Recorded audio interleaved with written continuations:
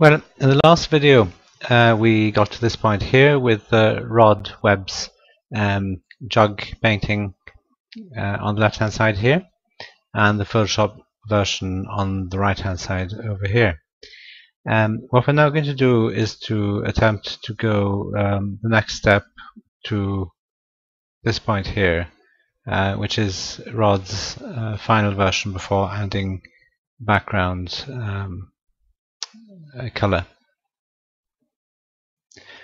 One of the problems I'm finding here is that the the background is uh, kind of a, a, greeny blue color which tends to vary a little bit. I'm not sure if that's due to the light in Rod's studio or whether he painted some uh, light wash on the on the background beforehand but uh, this is sort of interfering with the colors uh, when I paint here um, so it's a little bit difficult to get the colors to match exactly.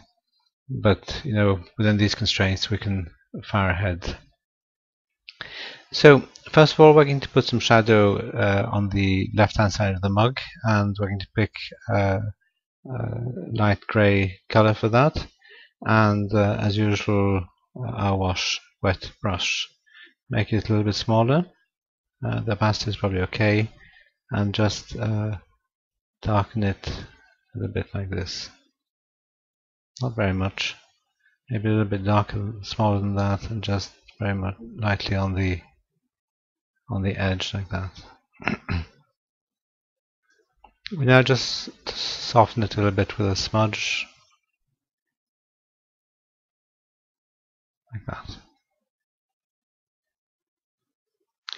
What we now need to do is to add a bit more rust around here and uh, to do that what we'll do is pick our uh, soft squirrel. And um, I'm going to set the uh, mode to multiply to get a little bit more darkness in our paint. And um, just going to put a bit of color around here like this. Something like this. A little bit more here and um, maybe a little bit more around here. I can't remember exactly where uh, Rod put the color, but it just looking quickly, it seems to me that there could be something like this here, maybe a bit more here, like that, perhaps a little bit more around here.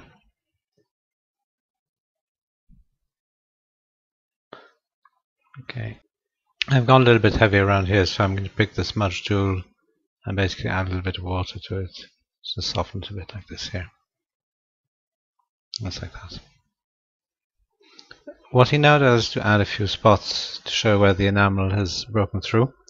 And um, what we'll do is pick the wet rigger for that, uh, pick our um, dark color and uh, add a little bit um, in some areas like this here. Uh, over here. A little bit careful doing this. Not be too much. Like this.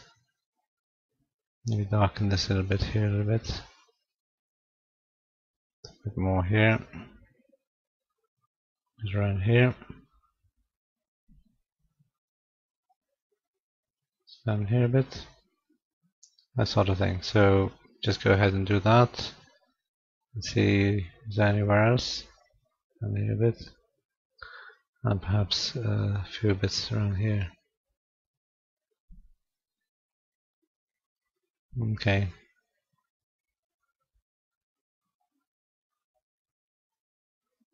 Something like that. Rod now adds a bit of uh, rust color to the inside of the jug. And for that I'm going to use the uh, soft squirrel brush and our usual background color here or, or orangey color rusty color something like that. And uh, put around here.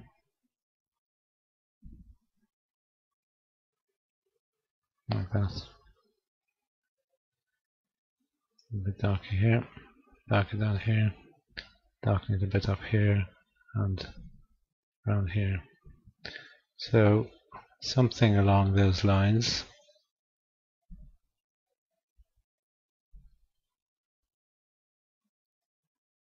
That's probably okay. And now um, uh, pick the uh, drippy water and just drop the opacity down to about 30% and just reduce size a little bit and a little bit add a little bit of water to, to this soften it a bit. Make it run a little bit like this. Just like that. I'm now going to paint the shadow area here and I'm going to use the wet rig for that and uh, Rod's mixture here. So um, I'm just going to make this bigger so I can see it better see where the line is even a bit bigger than this. But like this I think the line is just down here like that. It's a very delicate line as you can see. So very gently go like this along here. Darken the center bit a bit. A bit more like this maybe a bit more in the center like this maybe also here okay let's have a look that's not too bad so let's pick the smudge tool, make it uh, very low opacity, and just very gently smudge it like that. Uh, we could possibly make it a little bit darker, but I think I'll leave it like that for the moment. If we want to uh, darken something like this, uh, quite often instead of uh, having to paint over it, what we can do is simply to duplicate the layer and uh, immediately see that you've got a tremendously darkened and then by reducing the opacity to something let's say like this um, I think we get quite a nice effect so these are the kind of, kind of shortcuts that uh, we can use very effectively in Photoshop.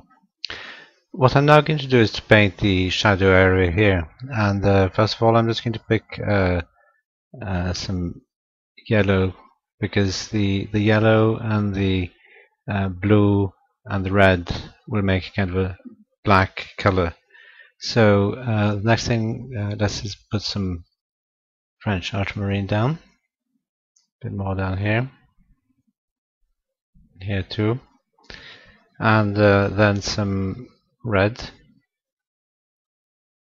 To kind of, as Rod says, make it warmer, a bit more down here.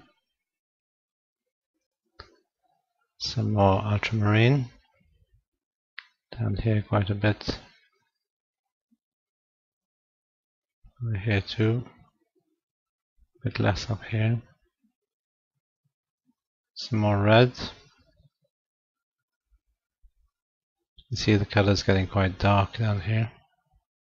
So this is a matter of judgment. And I'm not going to do a lot more than this but maybe just a bit more very dark uh, ultramarine down here maybe a little bit more down here like this darken this a little bit here okay well, we're now pretty much at the end of this phase. We just need to darken uh, this area a little bit. Uh, so we'll uh, pick uh, light gray and the wash brush and um, just darken this a little bit like this and down here too. Like that. So we now need to go to the final bit of the painting which is um, this. And um, as you can see it's largely uh, some shadow areas some merging of the uh, jug and the shadow here. And um, some little detail over here. And that's about it I think yes also some rust spots around here. Um, maybe a bit more darkness here. That's I think that's it. Well the first thing I'm going to do is pick the smudge tool uh, drop the opacity about 40% and uh, soften these edges here because they're way way too strong really. And uh, we won't do them too much yet. We can always do it a bit more later on so we'll stick to our um, bluey grey color here and uh, the wash brush but quite a bit higher opacity because we need quite a bit darker color here and um, I'm going to darken the uh, the grey quite a lot for the same reason. So let's see what this looks like if we put some here. I think that's quite good. Maybe make it a little bit bigger.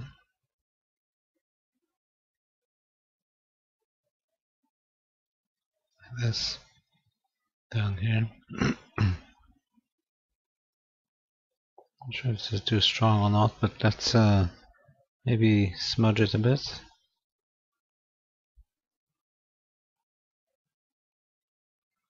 I think that's okay.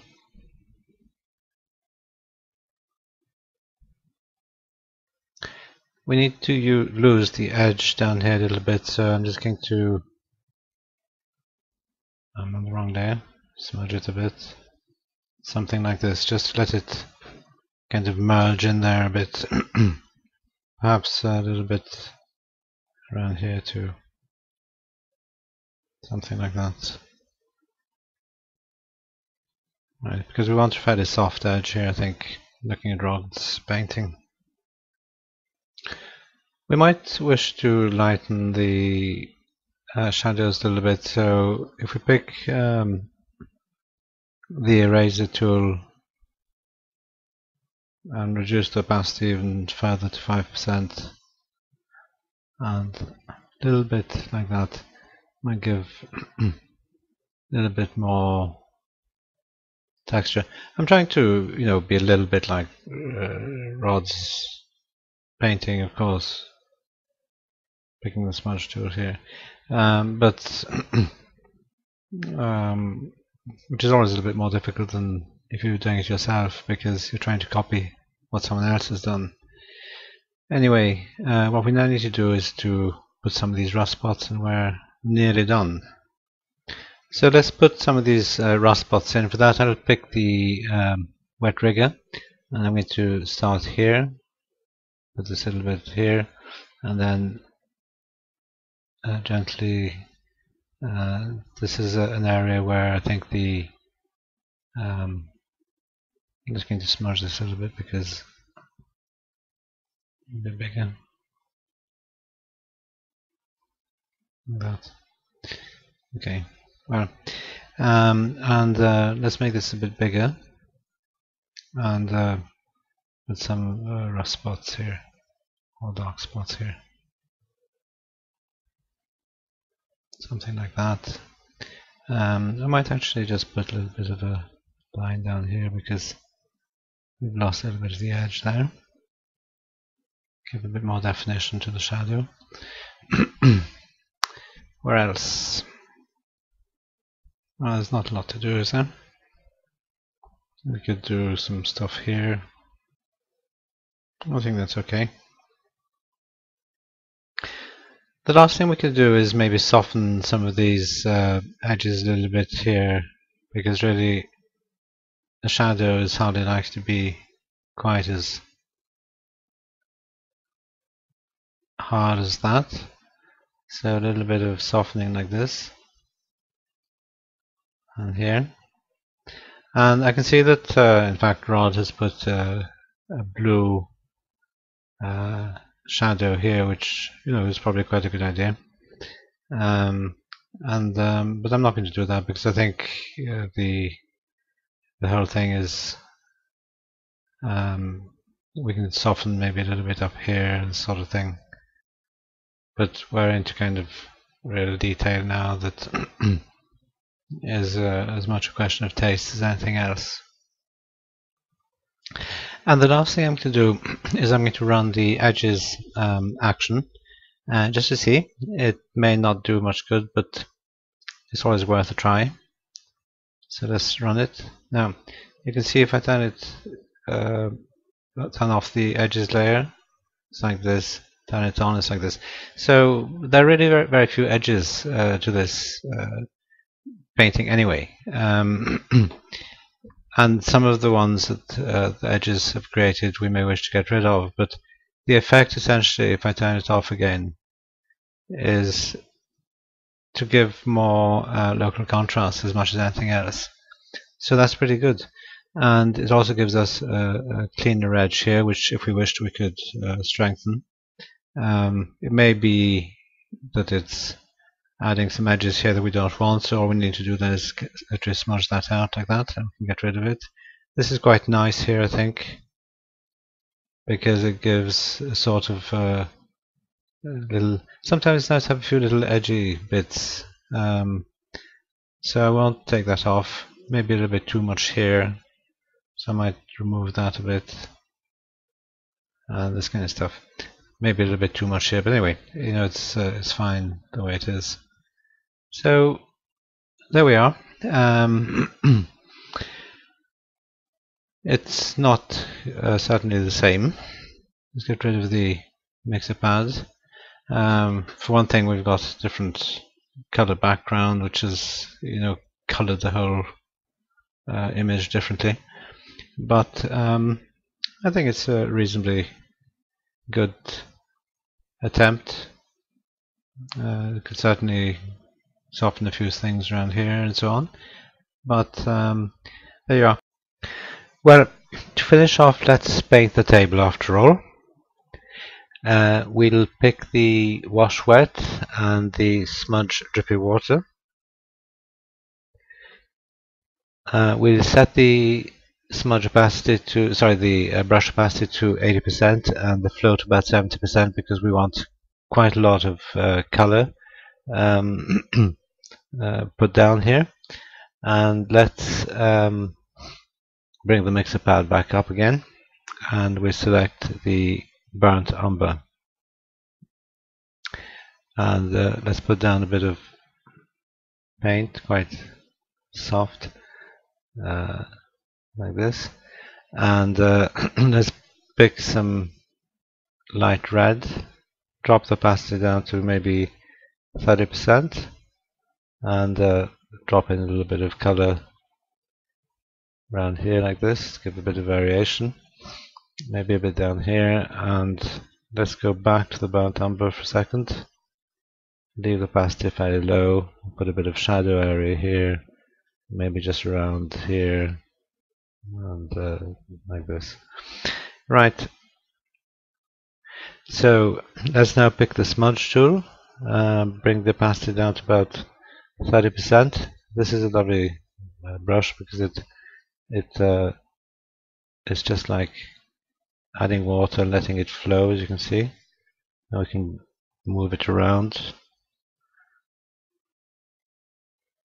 So something along those lines.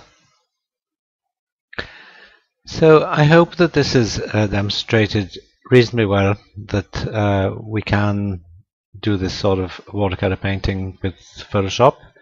Um, it's clearly not quite the same process as uh, traditional painting, but uh, it's not an awful lot, it's not far off really. Now, the thing is that, of course, this is a very delicate uh, little painting and um, quite precise. and a lot of watercolors are not like that. They're much more fluid, more impressionistic, um, much looser overall. And um, one might think that Photoshop would not be suitable for that sort of painting. Well, uh, that's not the case. Uh, I may do another video later on to demonstrate that, but uh, the, the basic tools that we've got here are really entirely suitable for much much looser watercolors than these. So I hope you've enjoyed this and uh, that it's inspired you to uh, have a go at the brushes on this site. Thank you very much for watching.